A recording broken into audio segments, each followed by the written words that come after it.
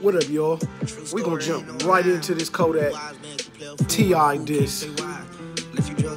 See what Kodak talking about. He's still being disrespectful, so. Intellectual, Trying to change your life, they won't let you. I'm in Detroit right now. I'm just hollering at my nigga Will. I was hollering at my boy, he say he feel like he gon' die soon. For him because he needed more than I do. I mean, the fact that they going back and forth, man, it's, it's, it's, I guess it's cool for the hip hop sport, but what they going back and forth over is, is really ignorant as fuck. I mean, especially in Kodak's case, man. That shit foolish as fuck. So he ready to go to war. He ready to die. Get war wounds all over, disrespecting the man while he was dead. These young boys be doing the most, man.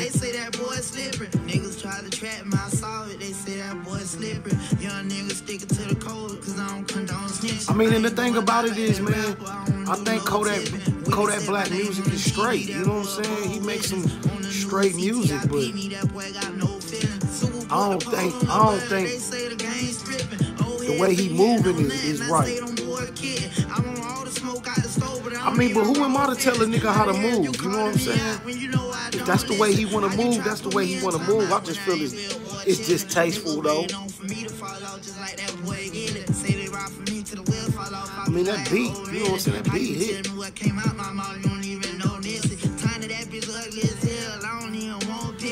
See, you, you disrespecting the man's wife. It's almost like a nigga supposed to put their hands on you when they see you, bro. Like,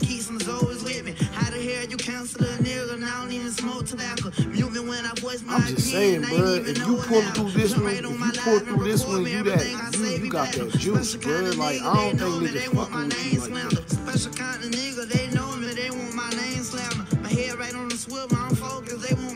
Splattered. I just, like I said, man, it ain't, it ain't like you make fucked up music or bad music. You know what I'm saying? I just think the angle you going at, bro, ain't really, ain't really dope. Like, you can't be disrespecting a man's a, a dead man and then coming at his lady. Nigga got kids and shit. You know what I'm saying?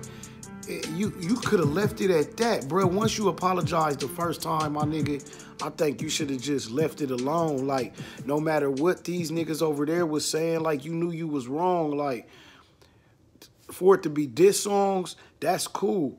But the content in the diss songs, y'all still beefing over what you said. So I'm like, nigga, that's fucked up. These young niggas, bruh, it's like they don't know shit but to get beat up or get smoked. Like, cause it ain't no teaching the nigga. Like, bruh, I'm not about to argue with you about you disrespecting a motherfucker, a, a deceased individual. That's just, so for you to have a, have a motherfucking um, diss track back towards T.I. or respond to T.I., I just think it's some bullshit.